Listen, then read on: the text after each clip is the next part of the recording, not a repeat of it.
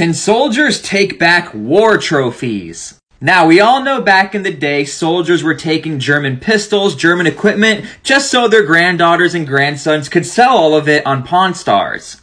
Now, when you look at the history of the early 2003 Iraq War, soldiers were taking pictures with golden AK-47s, golden MP5s. Soldiers loved taking pictures on top of Saddam's chair.